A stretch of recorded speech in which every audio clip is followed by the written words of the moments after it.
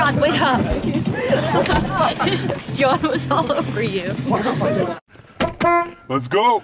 What he's been drinking? It's only been two beers, he's just buzzed. It'll be fine. Rachel, one beer is more than enough. I mean, just because he looks okay doesn't mean he is. Let's just call someone else.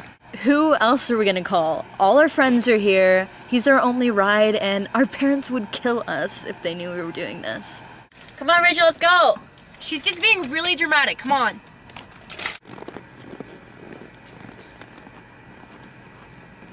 Wait. Here. What's this for? A cab, of course. We can't walk in this kind of weather.